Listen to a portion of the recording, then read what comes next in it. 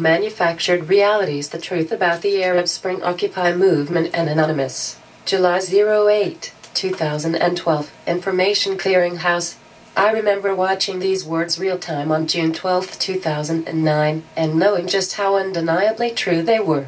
Something was about to happen that was going to change the nature of reality and perception on this planet in ways that only a handful of us on Earth could even conceive. The next generation of mind control was about to manifest itself in a faraway land, and I knew as well as the creators themselves did that the era of virtual reality 2.0 was about to begin. For ages they prepared for this event. Months and months of planning, preparation, and testing went into the grand illusion that was about to spring to life. On June 12, 2009, it wasn't even blip in American consciousness yet, but Iran was about to hold a presidential election and a small band of rebel technologists planned on turning in their favor. The methods and means they intended to use in this endeavor were nothing short of astonishing. Through perception management, disinformation, video manipulation, manufactured false reality, cyber warfare, and remote managed civil disobedience, this band was fully prepared to an intent on taking over a country. The final and central piece of this operation was a communications platform you all know very well and use every day. The global, open, instantaneous communications network that Twitter has become would be the vehicle to control the operation and deliver propaganda to the media and the public. Video, graphics, website design, and disinformation were all prepared months in advance, as were the tools to enlist the unwitting cooperation of the masses.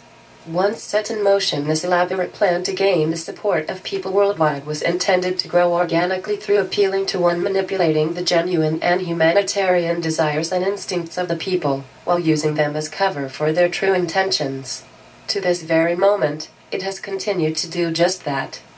This experimental grand delusion operation was the prototype and foundation of a great many things that today, three years later, are accepted globally as reality.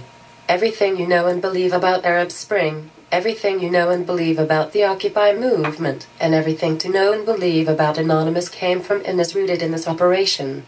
Every single bit of these manufactured realities from the V for victory sign, the Guy Fawkes masks, the adaptation of Allah Akbar chants, the world is watching mantra, the we are legion slogan, the expect us warning, the organized global civil disobedience, and now ubiquitous cyber war, all stems from this one operation like the base of oak tree.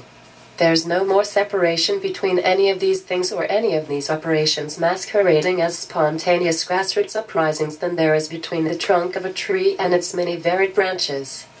To understand the pound sign Iran election operation is to understand the whole as the manufactured Arab Spring has marched across the Middle East toppling governments in Tunisia, Yemen, Egypt, and Libya, and as operations continue in Iran, Saudi Arabia, Syria, Bahrain, Myanmar, and many others, the original goal of the pound sign Iran election prototype, destabilization and regime change, has manifest over and over with exponentially increasing destruction, death, and deception. The Occupy, Anarchy, and anonymous subdivisions of this operation have caused untold destruction and divisions across Europe and the United States as this operation methodically turns governments against their people and people against their governments, just as they turn Sunni against Shia and Shia against Sunni across the Middle East. This global remote control puppetry continues to train myriad divisions of false flag terrorist groups responsible for unspeakable acts as the usual suspects are scapegoated without any validation whatsoever, as mainstream media remains little more than the propaganda wing of the operation, offering no critical analysis of the ongoing fraud. It is well past time that the people of this planet awaken to this delusion, the puppeteers, and the ever evolving false reality construct. Once one understands the foundation of this operation and the origination of its familiar tactics, the mystery, anonymity, and confusion about these so-called leaderless uprisings evaporates, leaving just the original operatives and their consistent and obvious motives. If you're prepared to understand the reality of this three-year false reality campaign, continue down the rabbit hole. Arab Spring Exposed by Bill Noxid. What's it going to take for people to wake from this ongoing delusion? Hopefully, the answer to that question is this document. After three years of obvious remote controlled revolution, this ongoing Arab Spring charade continues to be given the illusion of credibility by mainstream media, while every day it becomes more patently obvious that these operations are anything but spontaneous grassroots uprisings. I'll start with this fair winning. This document is long and complicated. This is also a live document and I will be adding to it. None of that is avoidable, because the operation itself is complicated. I'll make it as simple and as understandable as possible, but you will be required to pay attention. Anyone looking for or accustomed to soundbite solutions will have to develop, at least temporarily, an actual attention span, because what's at stake is your ability to understand anything at all about the world you live in. If you take the time to actually read and understand this document, a great many bewildering things about this planet will suddenly become clear. If you try to skim or breeze through it like every other article you encounter, you will remain part of the division of planetary puppets who have no knowledge or understanding of where the issues they support come from and who they actually serve. The dawn of Arab Spring, three years ago, a brand new phenomenon flew out of the clear blue sky without any warning. For most, a manufactured wave of social consciousness hit mainstream media like a ton of bricks. After 10 years of global war crime based on false flag delusion that no amount of public outrage, organization, and protest was even able to get so much as acknowledgement from MSM4, and after 10 years of diebold stolen elections that remain to this day a hear no evil, see no evil, speak no evil reality, MSM and global media in general was suddenly singularly focused on an obscure election in Iran. In a country that had just elected its first black president in history and in doing so exposed the reality of a country founded on 500 years of slavery, suddenly an election in Iran was all mainstream media and the Twitter sphere could talk about. Some guy, pleased foo about Obama, CNN slash MSNBC sucking, etc., not the topic. People are dying. Help communication, organize relief, resist. Pound sign Iran election 9:44 p.m. June 14th from web.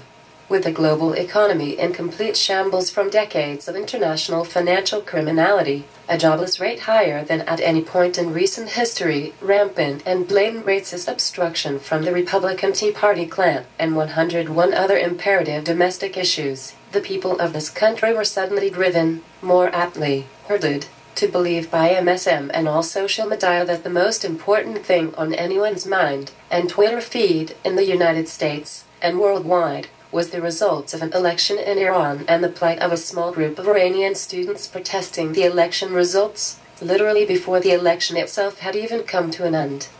I'm not exaggerating any of that even in the slightest. On June 12, 2009, an election was held in Iran in which Mahmoud Ahmadinejad was running against three challengers, one of which was Mir Hossein Mousavi. By June 13, Mir Hossein Mousavi and his supposed student supporters had claimed the election was rigged, had declared on their own that Mir Hossein Mousavi was the true winner of the election, had declared the rigged election a coup d'etat against the people of Iran, and were globally calling for international assistance of every kind in dethroning the dictator Mahmoud Ahmadinejad. Rest assured, Prior to 12 June 2009, most people in the United States couldn't tell you who Mahmoud Ahmadinejad was, if they had ever heard of him at all, much less Mir Hossein Mousavi. Yet on June 13th, pound sign Iran election hashtag was suddenly trending on Twitter and seemingly massive, virtual, support for Mir Hossein Mousavi and the plight of these students was all the buzz, or at least that's what we all were all led to believe. This blisteringly quick sequence of events did not spontaneously manifest itself out of sudden global concern for Iranian students and their election in less than 24 hours. It was accomplished by means of a group of well placed technology and media professionals manufacturing perception and developing the prototype operation of what would soon become Arab Spring. In this document, I will prove that step by step, starting with the preposterous events of the first day that I just briefly described. It may be hard to grasp when viewing the totality of this global operation and its influence, but the core group is very small. In the beginning, there was just a handful of them doing all the work and wearing all the hats. During the pound sign Iran election prototype, they didn't have the armies of the indoctrinated to perpetuate the illusion of massive support for the pound sign Iran election cause, so it was exhausting work for all of them, particularly the led people.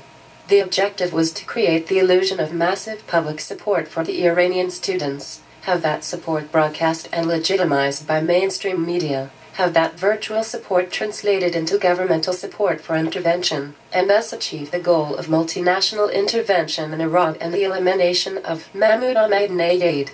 Certainly one could draw conclusions about who is responsible for this operation based on that information alone, but it's entirely unnecessary to do so. The reality will become undeniably clear all by itself, very shortly. What they didn't have in initial numbers, they more than made up for in preparation, placement, and automation. It quickly became obvious that the platform for this operation extended well beyond Twitter, Facebook, and YouTube.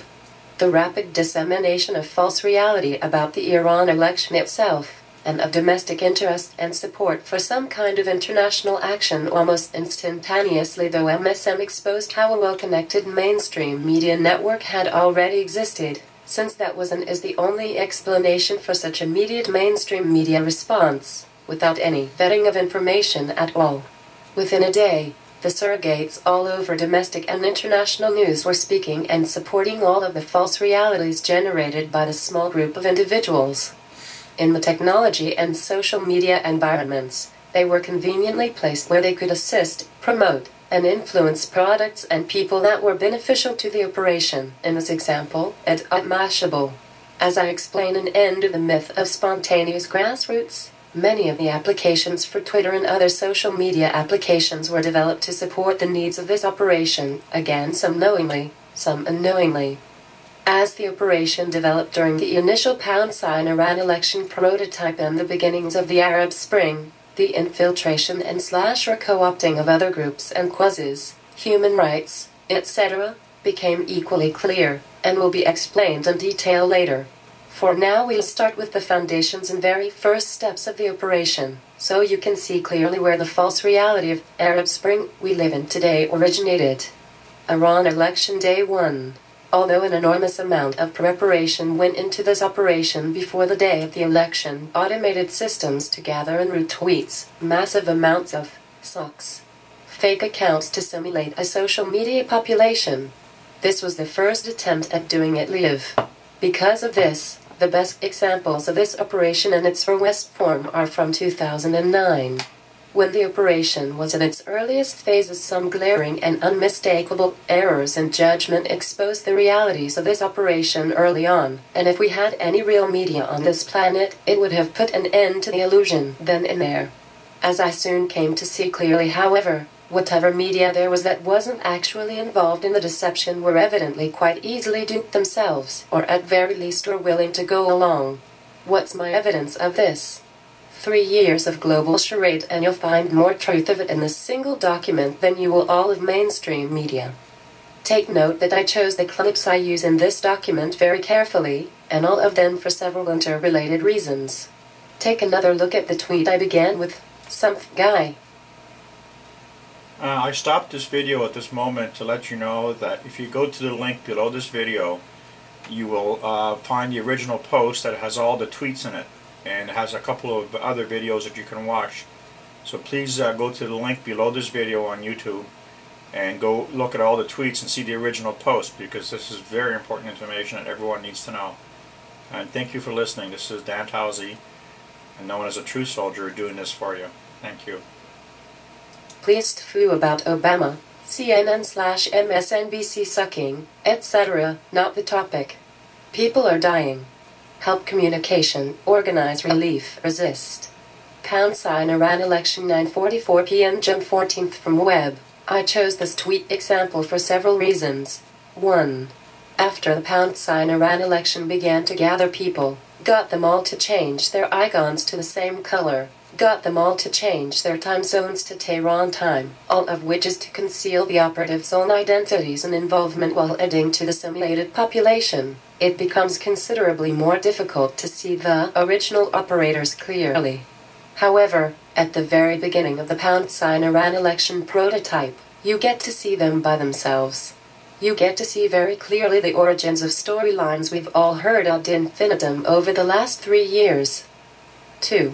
One characteristic of this operation that remains glaring is that quite often the statements that come from these C operatives are so completely out of touch or outrageous that they would be more suited to coming out of the mouth of a visitor from another planet. Take this example from some guy. To say in 2009, five minutes after the election of the first black president of the United States, stfu about Obama, because you want the real issue to be plight of a band of rebels in Iran reaches stellar heights of obliviousness to American awareness and sensitivities, and not only identifies oneself as out of touch, but also not talking about American interests. There are plenty of hard-working white Americans who have long lists of issues they'd rather discuss other than Obama, pushing, as an imperative above all things, installing Mir Hossein Mousavi to the presidency of Iran isn't on any of those lists thus doing exactly that on June 12, 2009, identifies these operatives beyond any doubt. 3. Much of the core symbolism and terminology at the root of the psyop is available in just this one tweet. The V sign that is ubiquitous throughout Arab Spring is demonstrated here, before any of it ever happened. The basic and raw calls of people are dying prey on humanitarian instinct, elicit guilt response, help them communicate, build the anonymous proxy networks, organize relief, fund and aid the operation, and resist. Fight whatever authority interferes with the operation and sacrifice yourself for the cause are all fundamental characteristics of these spontaneous grassroots uprisings from Arab Spring to Occupy and again. Here it is in one tweet. 4. This, some guy, account is prime example of any one of their socks. These are the anonymous accounts with which they can say or do anything without being identified, and represents the beginning of a modus operandi we all now know very well. Often they will be left dormant when they've served their usefulness, but some have been changed over to their real name. This is one of those instances, and is part of the reason I chose the second tweet to Casey. Some guy is SR code, same account with the name changed. When this tweet was originally sent, it was sent from some guy, but the tweet still exists with the name changed. 5. Finally, the most obvious and identifying characteristic is the one and only tag this, and a great many of this user's tweets were addressed to. Pound sign Iran election, the home base for this operation. It demonstrates, as will be further illustrated shortly, how this account was one of the sources of operation instructions, support, and disinformation at the very earliest point of the prototype structure. Since I have a trove of this data to choose from, I select each example in this manner. Each one has multiple layers of meaning, and I didn't mention all of the layers in the last example either, so use them to develop your ability to recognize those levels. In time you will find there are a variety of identifiable patterns. Now with this basic understanding of what you're looking at, We'll move on to the initial tweets of the operation and the building of delusion. The building of delusion. I'm going to go through several interrelated accounts. Remember, all of these accounts are operators that suddenly and fervently began promoting pound sign Iran election on day one in an enormous and coordinated effort. Many of the accounts were created only days before, or even days after, the June 12th election itself. In each instance, I'll illustrate when the account was created and when it entered the operation. The pattern and development will become undeniably clear, and I will make it as easy to follow as possible. The first account I'll start with is Iran Jet Elect. This very overtly named account was created on June 12, 2009, the very day of the election. Before the election could even conceivably be considered over much less any possibility that any votes could have been tallied. Iran Jed elect already existed on Twitter and immediately began laying the foundation of the prepared delusion. In the very first two tweets from this account, it declares that it's following Iran's presidential election results. Then, in the very next tweet, less than a half an hour later, declares that the presidential election in Iran has turned into a coup d'etat. This is the literal beginning of the disinformation psyop, and the first completely unverified, yet globally accepted fallacy of the Arab Spring. The next two tweets, coming less than two minutes later, attempt to establish, out of the clear blue sky, that the Iranian government is blocking SMS messages. Here we have the third and fourth tweet referencing something that doesn't make any sense at all, unless it's in the context of the operation. Why would this user immediately be trying to establish that the Iranian government is blocking low-tech SMS, simple message service? There are only two relevant reasons for this being their top concern, or top disinformation point. 1. Concern about the ability of rebel forces to communicate inside Iran and interference with their command and control ability remotely. If this is actual communication, it's indication of the Iranian government's awareness of the operation and of their efforts to disrupt it. 2 vilification of Iranian government and creating the immediate impression that the Iran government is stifling freedom and communication of its people. This is useful in the effort to get people to build the anonymous proxy networks that they need to circumvent Iranian government efforts to prevent their operation communications.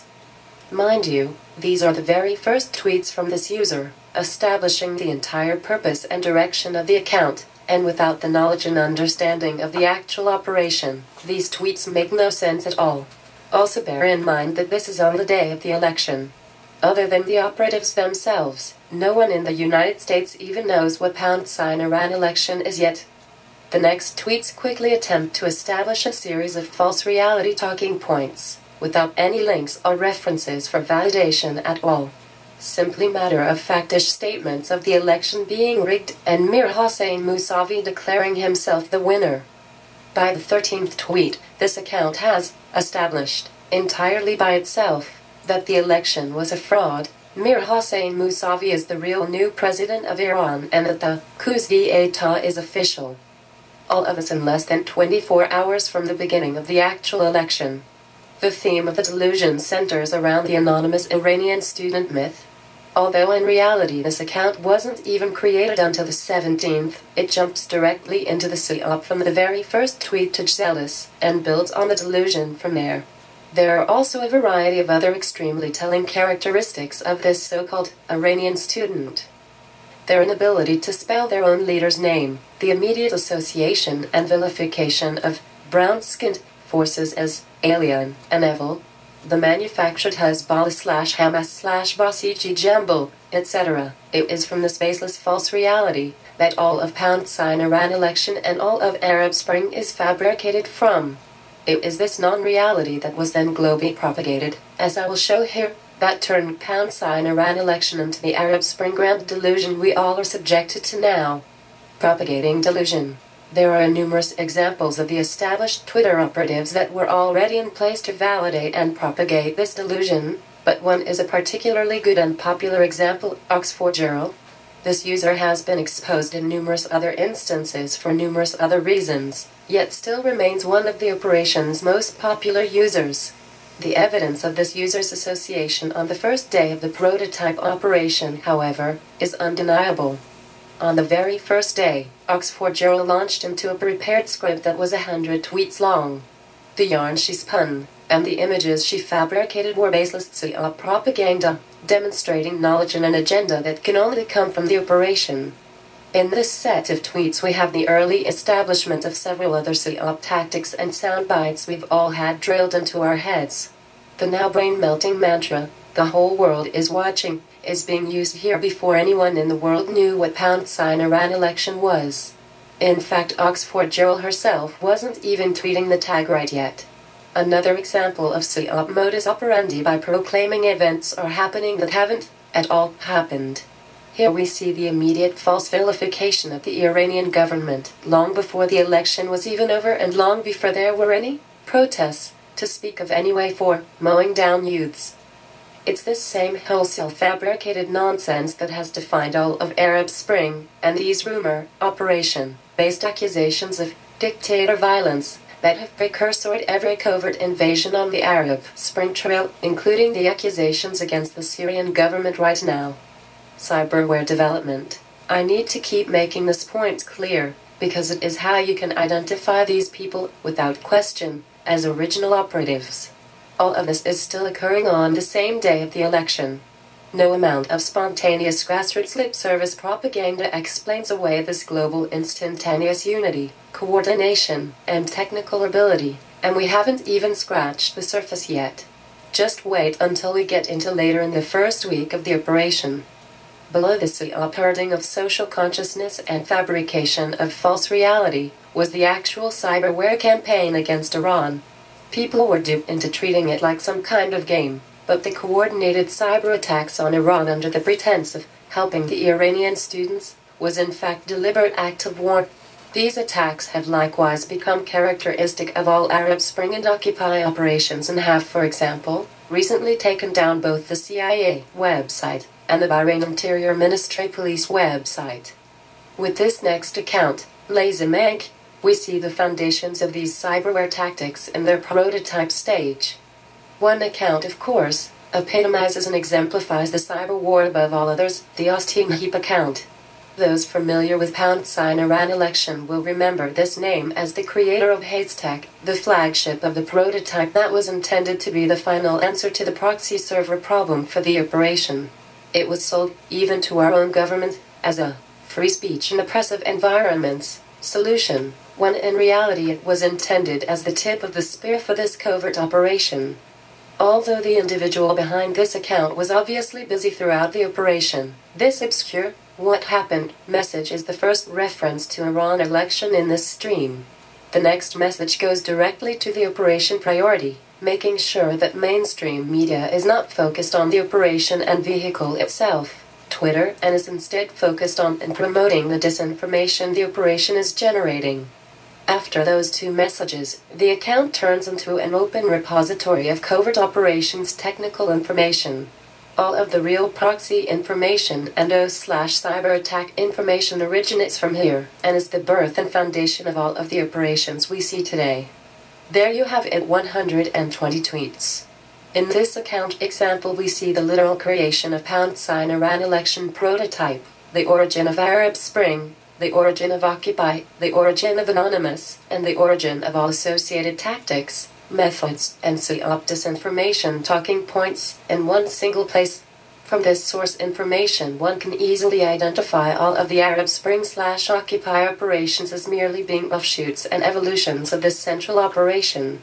The operators of this global psyop remain the same no matter how many socks they've built, no matter how large the network they've constructed, and no matter how many useful idiots they've enlisted to unwittingly do their dirty work for them and sacrifice their lives for the cause. In the next part of this document, I'll delve into the details of this operation. Beneath the psyop deceptions of free speech and peaceful protest lies sinister covert destabilization and disinformation tactics. In three years, the remote control terrorism that has marched across the Middle East has killed and maimed hundreds of thousands of people, and currently threatens millions more in Syria and Bahrain while they attempt to ignite Egypt yet again. Each one of the Arab Spring operations has been built on the same formula of lies, deceit, cyberware, fabricated evidence, and terrorism that is so clearly demonstrated here in the pound sign Iran election prototype, and with each operation, the horrific violence, racism, and ethnic cleansing shrouded in false flag murders and massacres increases exponentially. I will detail how this organized terrorism has been accomplished, from the dissemination and declassified the United States Covert Operations Training Manuals, to shift blame on the United States agencies, mask their own involvement, and as an excellent source of material for training remote control terrorist cells in civil disobedience and destabilization operations to the false flag martyr operations that have assassinated untold numbers of individuals, including those massacred in Hula, starting with green thumbnails poster called of false flag assassination operations, Neda Agha-Soltan, I'd close this rather lengthy first section by saying this I've had all the false flag terrorism I'm going to take, and there isn't a way for me to get past this. Every single day I watch a new floor added to the monument to deception, and every day I'm brutally reminded of what happened in my city over a decade ago, and that all the false reality, war crime, death, and destruction of the last decade stems from that one single false flag operation.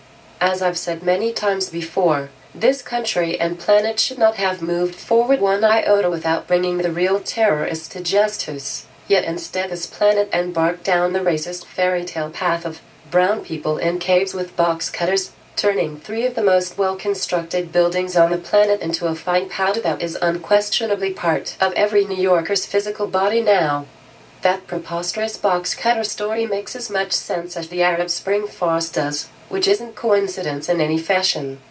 It's time for the people on this planet, especially Americans, to wake up to who is actually lying to them, who is actually terrorizing them, and who is creating the artificial issues, divisions, causes, charities, goes, heroes, etc., that you pour your time and money into. See how much of the propaganda sounds like what you've seen here. I'm very clear about who is on whose side, who is lying to who who's scapegoating who for what, and the fact that it has been going on for a very long time. Who benefits from all of this disaster, the endless pitting of brown against brown, and the endless bombing them into peace? Who benefits from Islamophobia and the fact that all you have to do is slap dictator on a brown leader, and the rest of the world will believe any preposterous accusation that, conveniently, materializes? who benefits from the United States and NATO being seen as the source of these Arab Spring invasions, while the actual handlers manufacture a new conflict every day. Like I said, I look at the answer every day. If you live in New York, so do you. Just look up. Last month it became the tallest building in New York, and it does nothing but scream who benefits. This Arab Spring operation here is nothing more or less than an extension slash continuation of this ongoing delusion, as evidenced by the reality that there still aren't any organic terrorists. From what I've learned in three years of being forced to study this open and glaring charade, I no longer believe any of these so-called terror groups that are presented for us to fear are any more real than the Basiji slash Hezbollah slash Hamas invention that was claimed to be beating Iranian students before the election was even over. From what I've witnessed in Pound Sign Bahrain in the last two months, all terrorism on this planet is puppet theater, and the puppeteers have gotten quite adept at it. Certainly this stands to reason after decades of practice and with the technology gifts like Twitter and the internet, but these same valuable resources make the operation equally glaringly obvious. It also exposes the much bigger and more sinister pattern of manipulating and manufacturing social opinion to all who are remotely paying attention. As you might expect, I'm not one for begging for anything, particularly for people to stand up for their own lives. After a couple of months of personally engaging the psyop in pound sign Bahrain, I'm continually amazed at how few people are actually willing to engage in the real fight excluding those already on the pound sign op watch team, of course. Fear is not an acceptable excuse anymore. Anybody think this global terrorism is going to just go away? What's your plan? Wait it out. If you happen to miss what the aftermath of Arab Spring is in Libya, sit tight. If they have their way, you'll get to experience it firsthand. 150,000 people died in the Tolerandis false flag operation, subdivision of this operation, and black Africans are being macheted and lynched in a documented ethnic cleansing spree. This operation intentionally creates and foments sectarian conflicts to pit brown against brown, and astoundingly, it keeps working. Don't think any other country is safe from this operation either. Like I said, this same group is at the root of Occupy and Anonymous think any of those molotov throwing cyberwar waging anarchists in London or Greece are being trained by a different covert operation? Think the molotov throwing cyberwar waging terrorists in pound sign Bahrain or pound sign Syria are being trained by a different covert operation? Think the molotov making cyberwar waging a anarchists in Chicago are being trained by a different covert operation? Of course not, don't be ridiculous, it's all the same thing. The only choice you have is whether you're in this fight or victim of it. This isn't the movies, this is life on Earth, and I know plenty about both. You're a puppet on a string whether you understand that or not. The only question is if you're going to wake from the matrix and have the courage to stand up for yourself. Think they didn't try the same psyop uh, terror tactics on me that they have silenced you all with for three years. You would be gravely mistaken and this 230 plus pages demonstrates I've documented every bit of it. In fact, That's one of the reasons they don't do it to me anymore. It only results in, in them exposing themselves, and documents like this one, and this, and this, and this. I can't possibly be the only person on the planet willing and capable of fighting for reality. I can only assume I just haven't reached the real warriors yet. As everybody on all sides now knows, if I have to fight this global sea of terrorism operation by myself, then that's precisely what I'm going to do. What are you going to say you were doing while I was in the fight for the planet? This band of terrorists has unlimited resources, human and otherwise.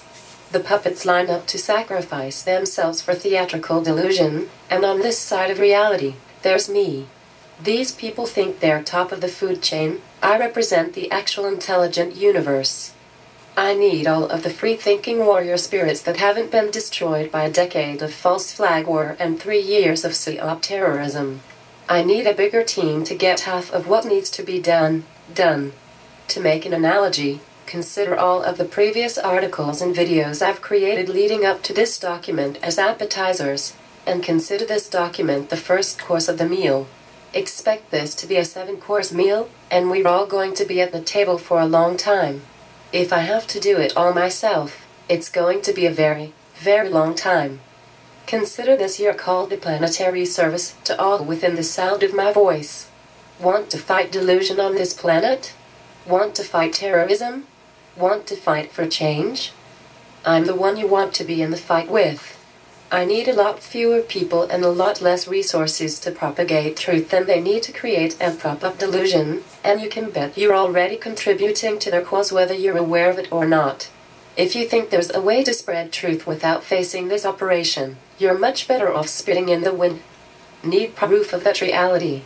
Every union and worker organization in Wisconsin fought for a year against the legacy slavers and their foot soldier, and it didn't get on the news until after they had lost. Let five people gather around a burning garbage can with an Occupy sign, and these people will have it on the evening news. Time to wake up. No amount of organizing is going to help progressives, Democrats, Obama, or humans in general if you don't know who and what you're dealing with. Want to know how to deal with global psyop disinformation and terrorism, and how to get the media's attention on actual causes instead? You need to talk to me. Kutch. Upwatch. Last update. June 8th, 2012, 11 o'clock a.m. So now that you've uh, listened to this, don't be a coward. Get involved. Start spreading the truth. Because if humanity is not guided into the future of this world by truth, we're all doomed to the insane's activities. And this world has been being taken over, ruined, destroyed by the financially insane who create their money out of thin air. I have given up a lot of my life and my health in the past 30 some odd years when I discovered in 1984 in Toronto when I ran a federal election that they were rigging our elections. And I realize this is a worldwide event. This is all real people. And there's not much time left. All I can tell you is they want to kill you all. And that includes me. Just read my article, They Want You Dead as Written in Stone. Check out Agenda 21. You know, the Nazis were never defeated because the people who put Hitler into power were Zionists. And uh, uh, Hitler's uh, goals were to uh, to destroy all the neighboring peaceful countries so that the bankers, which were based by Rothschild, the original Rothschild, could own the countries, its resources, and enslave everyone to, fi to financial slavery. We're being poisoned with fluoride in our water. We're being poisoned with GMO foods in all our foods. If you go to a grocery store today, you're, I don't think you can find anything anymore that's actually natural, naturally grown and healthy for you. And I live in Canada. And I look and watch on the internet and search and see all the destruction happening all over this planet. I look at the insane who uh, deliberately created uh, this false and fake uh, uh earthquake and tsunami in Japan and unleashed um, devastating radiation all over this planet. That's still on, it's still coming out at full full force and You go to truthsoldier.wordpress.com and go check out the stuff about Fukushima. All I can tell you right now is stop being scared because fear is going to get you killed. It's going to get all of us killed. And it's not about guns and it's not about uh, fighting. It's about spreading the truth worldwide. We need a worldwide truth revolution.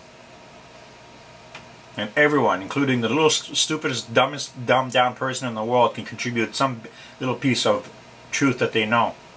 You don't need to know the whole truth. You just need to know something that is wrong and just speak up and say something to the next person you, you meet and see every day. If you think 9-11 was bad, what they're planning for their North America is much, much worse. They plan on killing everybody. Just check out the Georgia Guidestones. Uh, they erected humanity's tombstone in 1980 in Georgia, and they're still standing today. I know uh, I, have done a lot of research, and all this stuff is devastating and scary, but you know something? I made a decision a long time ago that truth is my path. And those who, uh, who speak uh, truth realize that truth is absolute. And the absolute opposite of truth, and the further you go from truth, is insanity. And the insane are running this world, all based on lies and deceptions. And you'll realize that, that lies and deceptions are very complicated, and truth is very, very simple. And the people aren't realizing that truth is so simple that it's actually quite easy to stop these insane people. And all we have to do, all of us, is just wake up and realize that um, they control our government, They've corporatized our governments. They've uh, they've taken over our, our media, corporate media, every, anything corporate. Anything corporate in the world is not good for anyone. Because if you read my my article I wrote years ago called "Creation of First Corporation," you'll realize what the first corporation was that created all these corporations that are now more powerful than any governments in the world. But they're not that they're powerful; they're just completely insane. You know, they've destroyed the Gulf of Mexico. Um, the the event in Japan is destroying the, the Pacific Ocean completely. And uh, this insanity will never, never stop until people wake up and realize that your little bit of truth, whatever it may be, is going to contribute to the pot of sanity. Because truth only exists if it exists in you. And truth only exists while you seek it and speak it. And you have to realize that truth is an action. It only exists if you act on it. The second you stop speaking and seeking truth, it no longer exists. And there's no sitting on the post and doing nothing. And stop watching your stupid televisions and your, and your corporate media because they're brainwashing you people through social engineering. You know, you're eating uh, foods in, in uh, these fast food joints that uh, that never uh, biodegrades, and people wonder why everybody's getting fat. It's because when you fo follow eat these foods, you can't your body cannot digest them. The insanity, okay, that was unleashed from the first corporation is just mind-boggling. They're destroying our, our kids' minds in, in, in, in, engineering in the schools. They're destroying your bodies. Uh, you are what you eat, and you can't even find healthy food to eat anymore. Agenda 21 wants to north, turn North America into uh, a wilderness area and put everybody into small little cities. You know, con con confined to the cities and not allowed to leave. Anyway, people, the party's over in North America, I still see a lot of people, especially here in Canada, living off uh, of, of the results of the credit system.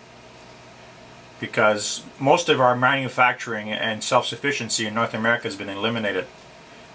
All the family farms are under attack. They don't want you to have any healthy food. They don't want you to have a healthy mind. They want to weaken you and weaken you to the point where you have no idea what truth is and what's going on. Because they realized long ago that if you don't know the truth, you won't fight for anything. Get involved and spread the truth and wake the people up around you. You're fighting for your life and you don't even realize it.